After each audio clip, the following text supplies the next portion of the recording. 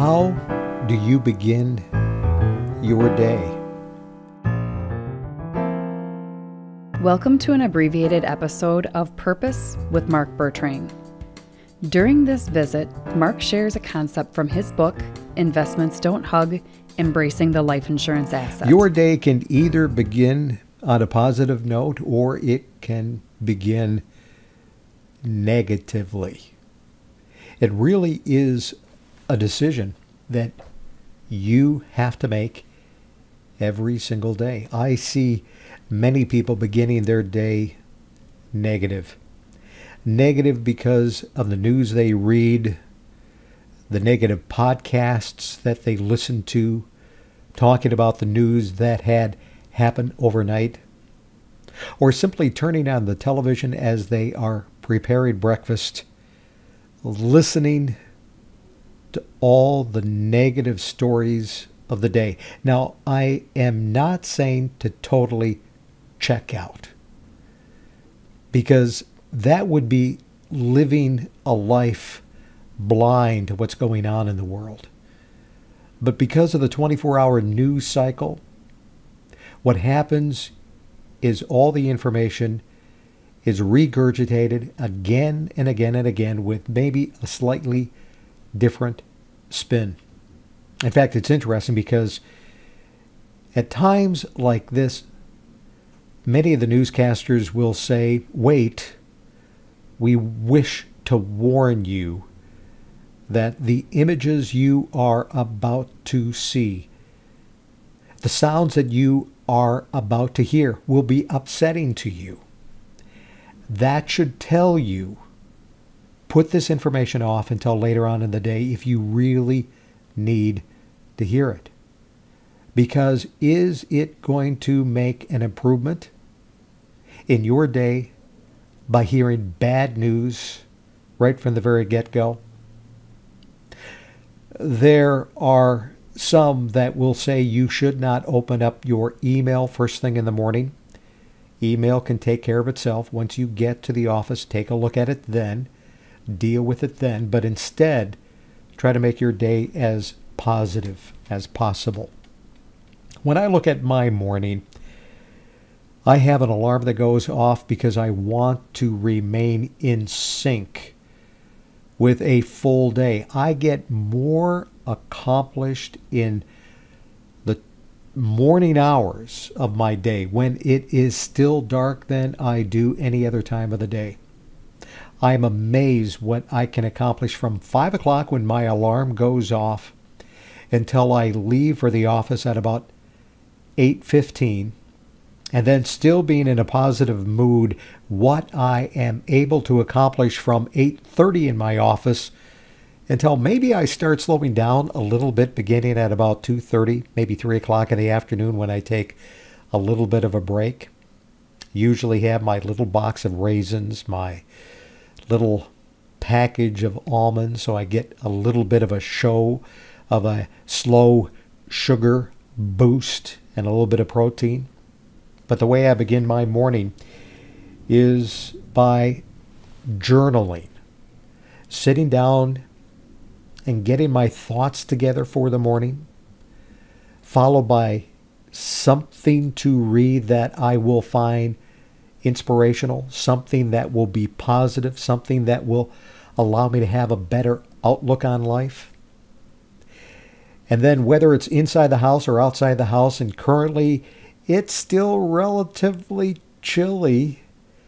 The temperatures are in the low 50s, but I will don my shorts and my sneakers and a sweatshirt. And I'll have a motivational podcast that I will put on. And I will walk my three miles beginning typically at about 6.15 in the morning that will get me until about 7.15 in the morning one hour of a brisk walk, typically about three miles in length. Once I get home, it's preparing lunch so I don't need to think about it later on. And what I find is if you begin the morning in a positive state, taking in positive information, eating positive food, which in my case is going to be some warm oatmeal. Maybe I'm going to have a cappuccino to hit me with a little bit of caffeine in the morning. But then I am typically preparing a salad for myself or my spouse. So I've got us taken care of for the lunch hour. Because oftentimes you will find me at my desk during the lunch hour because, again, I am still focused, I am still energized, and I don't wish to lose that very important time when I'm still very focused. It's okay if you live a life like this. And granted, by the time 7 o'clock rolls around, I'm kind of done for the day.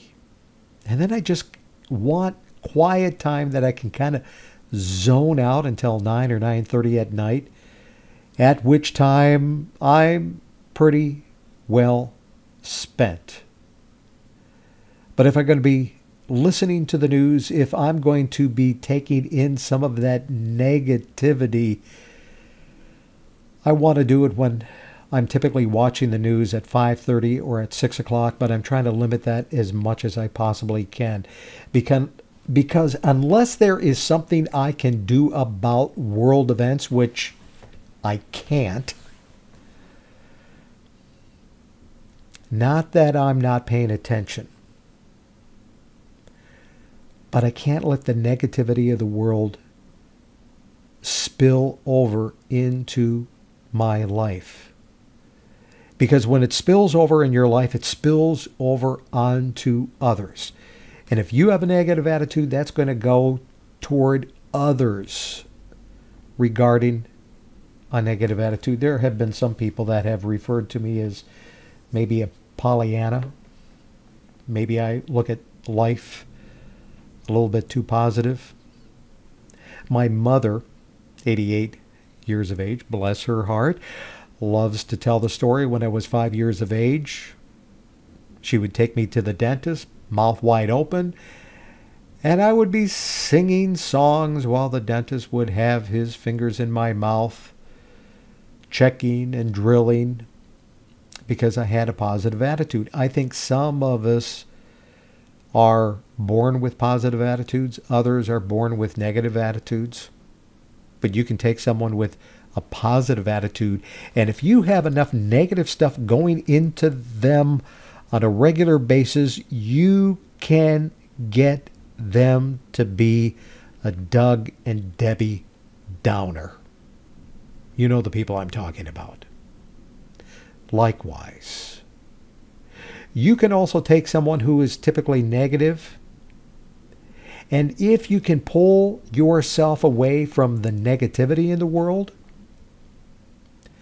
and if you can just infuse yourself with positive thoughts, positive words, positive input, the input you put in will be what comes out it's that way with food. If if you spend your day eating starches and sugars, I can pretty much guarantee you that you're going to be down for the count by two o'clock in the afternoon. You're going to want to take a nap. Now, granted, I may slow down a little bit at that time, but I know I need an infusion of slow energy. That's why I go with my box of raisins that's why I go with my little package of almonds at that time to give me a little bit of a protein to get me to the end of my day, which is typically 5:30.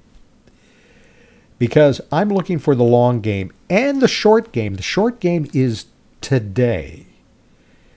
The short game is today. What kind of an impact can I make on myself, on my family, on my friends? on my clients, on those people that I am around. I owe it to them. Oh, by the way, you also owe it to yourself. Because every single day, I will look at my life thinking, today I am giving up a day of my life to live this day. Is it going to be for good or is it going to be for bad? Will it make a difference or not make a difference? I would like it to be for good. I would like it to make a difference.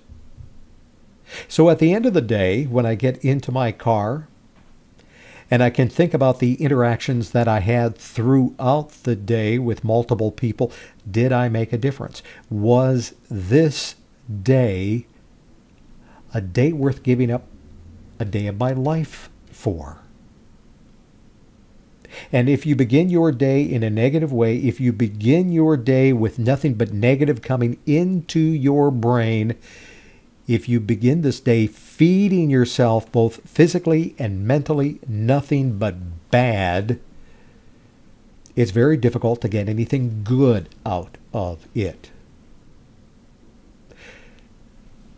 So I want you to be thinking about who you are going to be in the future. Ask yourself, who do I want to be in the future? And ask yourself the following question whenever a decision needs to be made, whether it is the input of information, whether it's a podcast, whether it's the news, whether it's a newspaper. Is this what future put in your name. So in my case, is this what future Mark would do? Would future Mark eat this? Would future Mark read this? Would future Mark watch this? Just put the word future in front of your name and ask yourself the question Is this what future, your name, would do? And if you would think to yourself, well, this is not what I would want to be in the future, this is not who I want to be, then don't allow that to be the person you are at this moment today. Be your future self today. If you want an output of success, if you want an output of being positive, if you would like to have an output of being able to make a difference, today's the day to change what your input is. And sometimes it's as simple as setting your alarm clock in the morning, perhaps earlier than you've ever set it before. And then when you hear the alarm, do not hit the snooze button but roll yourself out of bed. Put your feet on the floor. And then, what I will do sometimes just to humor myself, because at 5 o'clock in the morning, that's sometimes what you will need to humor yourself, I do a countdown.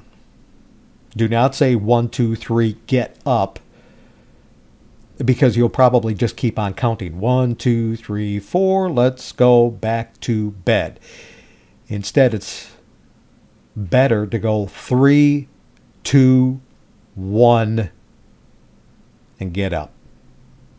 And you might be so exhausted after the first day of actually trying this is that you might tell yourself, I'm not going to do that again tomorrow. No, instead, at the end of that day, have some quiet time. Don't spend it in front of a screen have quiet time, go to bed early, recharge your batteries, and then do it all again the next day. This is my message for you today regarding purpose, regarding purpose and how to have a more fulfilled life that feels purposeful, just take a few of these hints, a few of these recommendations, let's see if you can make them your own. Don't miss the next episode of Purpose with Mark Bertrang. To engage Mark professionally or to purchase his book, simply search Mark Bertrang or Investments Don't Hug.